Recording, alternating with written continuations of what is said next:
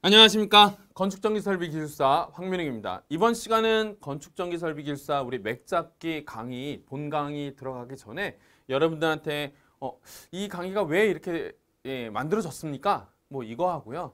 그러면 이거를 어떻게 이용하면 좋겠습니까? 라고 하는 그런 포인트를 잡아서 설명드리는 시간이 되겠습니다. 어, 우선은 예, 여러분들한테 건축전기설비기술사를 시작을 합니다 라고 하는 것부터 시작을 해서 예, 제가 이제 여러분들한테 제시할 수 있는 건 예, 가능한 한 빠르게 서브노트를 만드셔야 합니다. 라고 예, 결론 짓도록 하겠습니다. 가능한 한 빨리 만드시고 가능한 한 빨리 이해하시고 암기하시고 작성하실 수 있는 능력을 길러주셨으면 합니다. 그러기 위해서는 그죠 가능한 한 빠르게 서브노트를 만드셔야 합니다. 예, 정리를 빠르게 하셔야 된다 이 말씀을 드리는 겁니다. 그러기 위해서는 가장 기본적으로 세 가지 원칙이 필요하다라고 여러분들한테 말씀드리고 싶어요. 우선은 이건 뭐 가이드하고 거의 같은 내용이기는 하겠지만 사실상 여러분들한테 예, 제가 이렇게밖에 할 수밖에 없는 이유를 좀 설명을 좀 드리도록 하겠습니다. 우선 제가 처음에 예, 처음에 건축전기설비 기술사 첫 회 시험을 제가 예, 보러 갔었죠. 그냥 정말 진짜 도시락 하나만 들고 그냥 진짜 콘도레 부르면서 갔습니다. 뭐 공부 막 많이 했으니까 어, 잘볼 수 있겠지. 예. 네, 정리를 하지 않은 상태였습니다. 공부만 정말 열심히 했었습니다. 그리고 첫 시험을 보고 나서 아, 이 시험은 그렇게만 공부하면 안 되겠구나라는 그런 생각을 했습니다. 물론 그때 시험이 우선적으로는 제 입장에서는 뭐 높은 점수를 받은 건 사실이기는 하지만 그렇다고 또 아주 높은 점수는 아니었겠죠. 그러니까 떨어졌겠죠. 그러니까 어, 사실상 아 이게 정리가 필요하겠구나라는 생각이 그때 확실히 들었고요. 그리고 나서 정리도 어떻게 해야 되는지 여러 시행착오가 있었습니다. 예, 그래서 아마 여러분들 어, 다른 기술사님들 보시면 뭐 서브노트 A, B, C 뭐 이렇게 뭐 버전업 되는 거 확인하실 수 있으실 거고요. 그건 어쩔 수 없는 일이기는 합니다. 예, 그렇지만 어쨌든 여기서는 어떤 거예요? 예, 서브노트가 있었다라는 게 중요한 겁니다.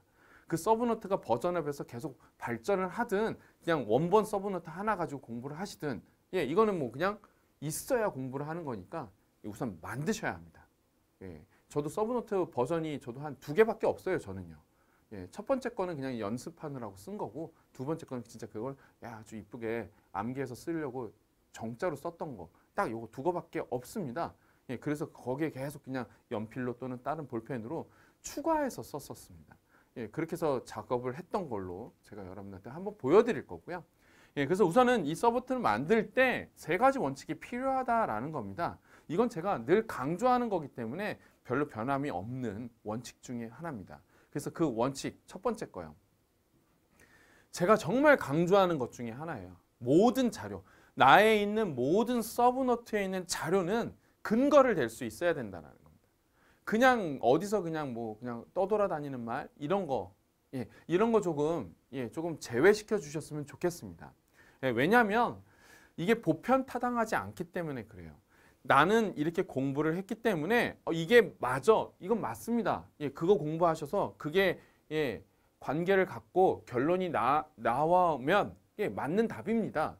그런데 그게 딱 누군가에게 제시했을 때 그 사람이 그걸 납득할 수 있어야 됩니다.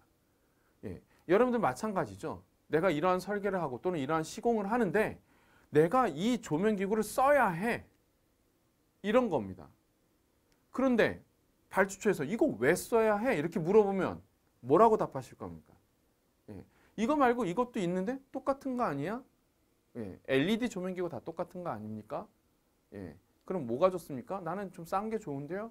아니면 난 효율이 좋은 게 좋은데요? 그러면 어떤 어떻게 답하시겠습니까?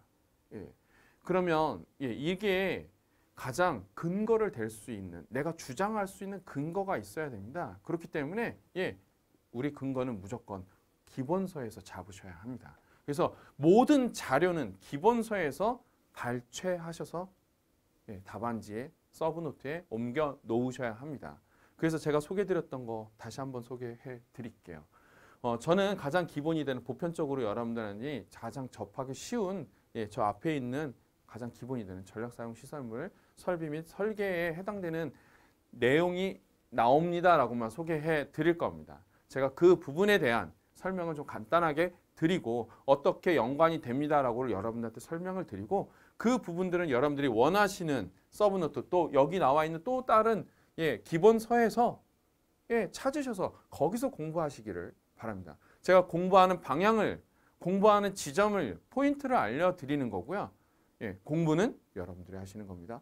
예, 그렇게 기억을 해두셨으면 좋겠습니다. 예, 그래서 모든 자료는 기본서에서 가지고 오신다라는 거 그거 그게 첫 번째 원칙이 되겠습니다. 뭐 두 번째 원칙은요. 나만의 관점이 있어야 한다라는 겁니다. 나만의 관점이라고 얘기를 하는 거는 이런 거예요. 제가 왜 이걸 말씀을 강조를 드리냐면 이겁니다. 어, 건축전기 설비 기술사는 뭘 결정해야 되는 겁니까? 라는 겁니다. 이 반대로 좀 질문을 바꿔볼게요. 우리가 시험을 보는데 시험을 통과해서 건축전기 설비 기술사가 되는 게 아니고요. 건축전기 설비 기술사가 되기 위해서 시험을 보시는 거예요.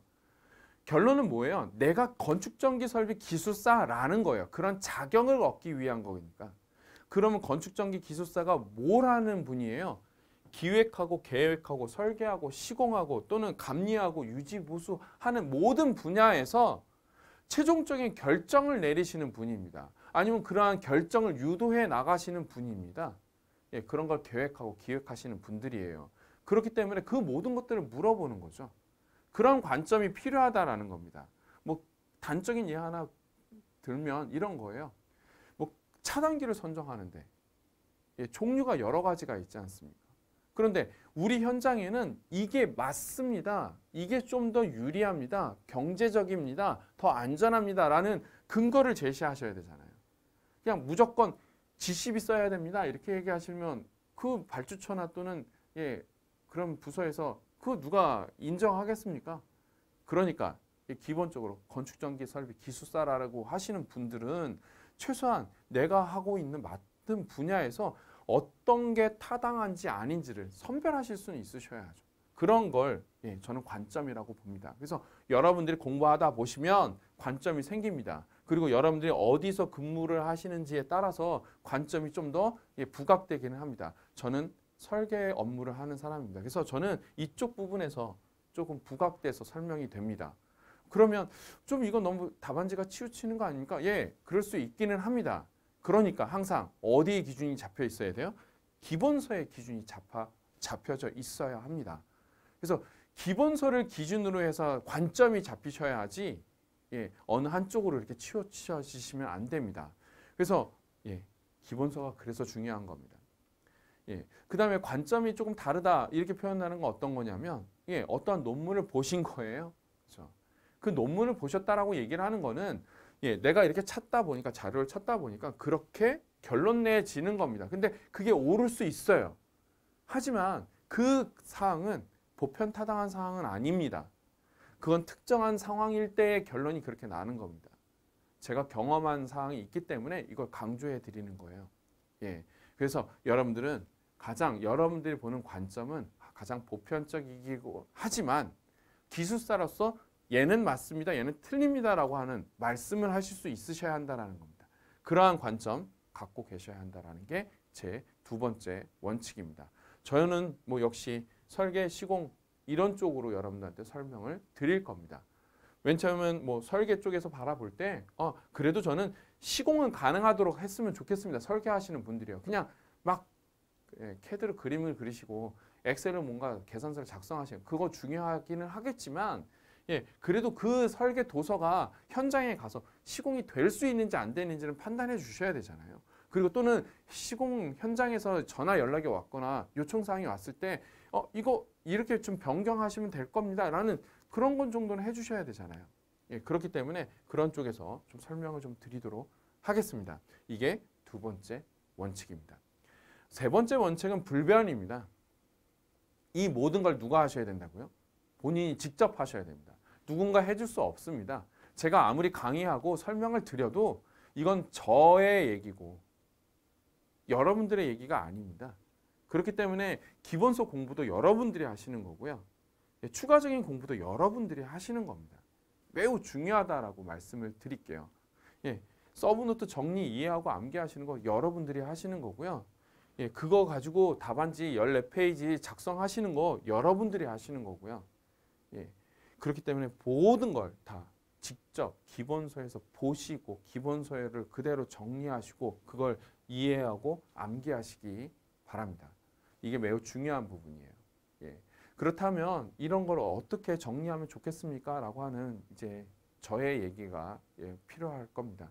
그래서 여러분들한테 제안 드립니다. 나만의 관점. 저는 여러분들한테 예, 설비 또는 설계의 관점에서 이 모든 것들을 설명을 좀 드리려고 합니다. 물론 한쪽으로 치우칠 수도 있겠지만 여러분들이 유지보수 또는 시공한다고 하신다면 거기에 여러분들이 그 지식을 여러분들이 알고 계시는 내용들을 더 풍부하게 담아서 답안지를 작성하시기를 바랍니다. 그래서 우선 저는 이렇게 설명을 좀 드릴 거고요. 제가 설명드린다라고 하면 저는 제일 먼저 저의 도면 목록을 여러분들한테 설명드리고 싶습니다. 우선 설계 도서, 도면이라고 하는 부분이 되겠죠. 여기에서는 정보통신과 소방을 조금 제외하고 순수하게 전력만 좀 설명을 좀 드릴게요. 저는 한 이렇게 일곱 개 했는데 일곱 개보다 더 많기는 해요. 사실은요. 왜 많냐라고 하면 그죠? 어, 원래 많습니다. 도면이요. 원래 많은데 왜 화면에 제가 이렇게 딱 일곱 개로 추릴 수밖에 없어서 추렸고요. 이런 거 두 개 합쳤죠. 우선은 제일 먼저 여러분들 도면을 받아 보시게 되면 예, 제일 먼저 나오는 게 도면 목록이죠. 이 도면에는 이 프로젝트에는 이런 것들이 있습니다. 라고 하는 거예요. 그리고 나서 법례 및 주기사항이죠. 이 법례 및 주기사항에는 이 도면은 이렇게 그렸습니다. 작도되어 있습니다. 이건 이렇게 설명한 겁니다. 이렇게 돼 있죠. 이 내용들이 우리가 건축전기설비 기술사로 바라본다면 그죠? 이게 과업 범위와 관련 기준이 뭐로 적용되어 있는지 이런 걸 얘기를 하는 겁니다. 여러분한테 건축물 설비 설계 기준, 전기 설비 기준 이런 기준을 물어보는 거고요. 그리고 판단 기준 이런 기준들이 제대로 돼 있는지 안 돼 있는지 그런 것들 물어보는 항목이라고 저는 생각을 합니다. 그 다음은요. 5개 설비 평면도 또는 단선도 이쪽 부분이요. 전력이 인입되는 구간이네요. 예, 대부분 한전 연계하고 인입설로 그리고요. 5개 조명이 어떻게 구성되어 있는지 가로등이 있는 공원 등 이런 것들 이런 것들이 어떻게 되어 있는지 그리고 실제 단선도로 결산되어 있는 그 수변전 설비들이 어떻게 배치가 되는지 이런 것들 고려하는 겁니다. 그런 것들이 실제 그려져 있는 도면이겠죠. 그 다음에 전력 간선이라고 하는 건 당연히 전력 개통 그리고 전력 간선 설비 평면도 그리고요 분전반의 위치가 어디 있습니다. 그리고요 예, 여러 개의 전력이 지나가는 경우에는 트레이 이런 것들로 예, 도면 작업을 해야죠. 예, 이런 것들이 내용이 담겨져 있습니다. 여러분들이 이런 것들 답하시는 거예요 지금. 예, 그리고요 조명 설비 평면도 이건 다 부하 설비에 해당되는 내용입니다. 그러면 조명 기구를 내가 어떤 걸 선정을 했는지 뭐 LED를 할 건지 방전등을 할 건지 뭐 이런 것도 고민하시겠죠. 그리고 배치를 어떻게 하는지 계산하셔야 되잖아요. 예. 우리가 조도 계산이라고 하는 거 기억하시죠? 그리고 그걸 배치를 어떻게 하면 배선을 어떻게 하는데 배선했다는 건 회로를 구분했다는 내용이고 예, 작은 설비들은 어떻게 연결할 건지 대용량 설비들은 여기서 분전반의 형태를 갖든지 또는 박스의 형태를 갖든지 공급이 됐겠지만 작은 것들은 조명부에 연결하시잖아요. 그리고 이 모든 것들을 제어를 하죠. 통신 제어를 할 건지 뭐 점소등 제어를 할 건지 디밍 제어를 할 건지 이런 것들 여러분들 물어보잖아요. 예, 그런 것들 예, 쭉 나오는 내용들입니다. 그리고 나서 이 모든 것들이 분전반 결선도로 취합되죠. 예, 결론적으로는 부하를 집계를 하고 어떠한 차단기를 선정을 했는지 그리고요. 이 분전반을 어디에 설치했는지 배치나 또는 EPS-C를 구성해야 하는지 분전반의 크기는 얼마인지 이 사이즈 여러분들 선정하셔야 된다라고 저는 생각을 합니다. 예, 이러한 내용들 그래야 또 단선도의 변압기 용량 이런 것들 산정하실 수 있으시잖아요. 예, 이러한 내용들 쭉 나오게 되어 있습니다. 이렇게 해서 전력에 해당되는 부분이 됐다면 예, 방제에 해당되는 부분도 물어보죠. 대표적인 게 피레 설비하고 접지 설비, 평면도. 여기엔 당연히 피레 설비 62305 접지 설비도 마찬가지죠. 뭐 이런 얘기도 쭉 나오게 돼 있습니다. 그래서 전기실의 접지가 어떻게 한 건지, 뭐 통합 접지를 할 건지, 공통 접지를 할 건지, 뭐 아니면 개별 접지를 할 건지 이런 얘기들 나오잖아요. 개통의 접지는 어떻게 할 건지 이런 얘기들. 이런 도면들이 나오게 돼 있고 일반 상세도에서는 당연히 예, 타 부서하고 연관되는 부분들이 생기죠. 오프닝 구간은 어떻게 해야 하는지. 트레이가 지나갑니다. 예, 분전반을 반 매입해야 되는지 매입해야 되는지 예, 노출 배선에 노출 설치해야 되는지 이런 거 예, 건축이랑 협의하셔야 되잖아요. 예, 그러한 내용들. 그리고 접속은 어떻게 해야 되는지. 예, 그리고 트레이에 뭐 입상 입하 이런 거 디테일하게 그려주셔야 됩니다. 예, 저희는 그리고 있기 때문에 설명을 드리기는 하지만 어쨌든 이 모든 내용들이 다 저는 건축전기설비 기술사 문제라고 저는 생각을 합니다. 이것뿐만 아니라 도면에서 또 이어지는 것들이 있죠. 계산서들은 어떻게 이어지나요? 뭐 조도 계산서 뭐 이런 것들 기억하시죠? 전압강화 계산서 어디에서 해당, 해당되나요? 여기에는요. 변압기 용량 계산서, 발전기 용량 계산서, 예, 축전지 용량 계산서 이런 거 여기에 해당이 되죠. 예, 트레이 계산서, 전압 강화 계산서, 케이블 사이징 계산서 이런 것들이요. 예, 조도 계산서 뭐 당연한 내용들이겠죠. 그 다음은요. 예, 여기도 마찬가지로 회로를 구분함에 있어서 차단기 용량을 어떻게 선정해야 되는지 회로 구분에 따라서 또 달라지잖아요. 그런 내용들, 트레이 계산서, 접지 계산서 뭐 이런 것들 많이 포함되어 있습니다. 그리고 최종적으로요. 이 모든 설비들을 이렇게 선정하고 계획해서 예, 누구한테 보고를 할 때 나오는 도서가 있죠. 설계, 설명서, 설계, 보고서요. 거기에는 항상 비교 검토가 돼 있죠. 비교 검토가 돼 있고 어떤 걸 선정했습니다라고 나왔죠. 누가 했습니까? 그거를 기술사가 했죠. 건축정기설비 기술사가 이걸 선정하셨습니다. 그리고 그거를 발주처나 또는 시공사에 예, 납득시키셨잖아요. 예, 그런 것들 물어본다라고 저는 생각을 합니다. 그렇기 때문에 이 모든 내용들을 이제 정리하셔야 되겠죠. 그러면 너무 많죠. 그러면 여러분들은 지금 무슨 단계냐면 예, 처음 건축전기 설비 설비 기술사를 시작하시는 단계입니다. 그렇기 때문에 우선순위를 두셨으면 좋겠습니다. 그래서 기본적으로 건축전기 설비 기술사에 입문하신 분들은 기본서를 기준으로 해서 우선순위부터 작성하셨으면 좋겠습니다. 그래서 제가 여러분들한테 우선순위를 알려 드릴 겁니다. 그리고 그 우선순위를 어떻게 정리를 하냐면 레벨 A와 레벨 B라고 하는 과정을 거쳐서 정리하도록 도와드릴 겁니다. 우선 레벨 A라고 얘기를 하면 가장 기본이 되는 형태에 대한 예, 이론을 설명을 좀 드릴 겁니다. 우선 전력 사용 시설물을 설계하는 데 입장에서 부하 설계를 어떻게 하는지, 전력 개통 공급을 어떻게 할 건지, 수변전 설비를 어떻게 구축할 건지, 그리고 나서 전체적으로 방지 설비, 피해 설비와 접지 설비를 어떻게 연계할 건지 이런 쪽으로 여러분들한테 설명을 드리고 이 부분이 어디에 나옵니다라고도 설명을 드릴 겁니다. 그래서 그 부분을 꼭 가셔서 그 기본서에서 좀 참고하시고 또는 다른 기본서에서 그 해당되는 부분들을 발췌하셔서 학습하시기를 바랍니다. 서브노트에서 하시는 건 좀 권해드리지 않아요. 왜냐하면 앞뒤 맥락이 잘리기 때문에 그렇습니다. 이건 강조 해 드렸고요. 그래서 이 부분을 우리 레벨 A에서 여러분들한테 설명을 드리고 제가 작성한 계산서 이런 것도 여러분들한테 보여드릴 겁니다. 물론 도면도 보여드릴 수 있으면 보여드리는데 사실상 제가 이 화면에 그 도면을 띄우면 잘 안 보이더라고요. 그래서 여러분들 교재에는 제가 좀 첨부해 드리도록 하겠습니다. 그래서 그런 내용들을 담고 있고요. 레벨 B에서는 이러한 공부하신 내용들, 정리하신 내용들, 정리해야 하는 발췌해야 하는 그런 기본서의 내용들을 어떻게 효율적으로 정리할 수 있을까라고 하는 부분으로 여러분들한테 설명드리도록 하겠습니다. 그래서 레벨 B에서는요, 예, 제가 여러분들한테 제시하는 기본적인 예, 목록이 있습니다. 그 목록을 좀 따라서 좀 진행을 하시면 좋겠고요. 초보분들, 우리가 가장 처음 접하시는 분들은 그 부분을 염두에 두시고 예, 기본서에 있는 내용을 가지고 오시면 되고요. 조금 더 아 이 내용은 좀 나하고 관점이 좀 다른 것 같아 라고 하시면 예 그냥 무시하시고 여러분들의 관점으로 정리하시면 되겠습니다. 그래서 정리하시고 예 그리고 나서 예 다른 분의 기술사님들의 답안지를 한번 검토해 보시기 바랍니다. 예 구하기 힘드시면 예 제거 제거 그리고 또 다른 기술사님 거 이렇게 해서 한 두 분의 종류 걸 한번 예시안으로 좀 드려보도록 할게요. 그럼 그 드려보시고 예 아, 이분들 이렇게 작성을 했구나 라고 하시면 될 겁니다. 예. 여러 번 말씀드리지만 예, 관점의 차이가 있는 거지 답안지가 다른 거 틀린 건 아닙니다. 그냥 다른 거예요. 그래서 두 분 다 또는 세네 분다 예, 관점의 차이가 있었지 어쨌든 예, 기술사이십니다. 예, 그분들은 그걸로 공부하셨고 아마 그렇게 현장에서도 답을 작성하셨을 겁니다. 그래서 레벨 B에서는 대부분 이런 류의 여러분들한테 예, 강의를 해 드릴 겁니다. 어떠한 예, 수변전 설비 목표가 정해지면 그거에 대한 기본적인 고려해야 할 대상 이런 거가 나오고요. 그리고 거기에 해당되는 예, 기출 문제뿐만 아니라 여러분들이 좀 예, 검토해 주셔야 하는 그러한 기본적인 예, 예제들을 설명을 좀 드리고요.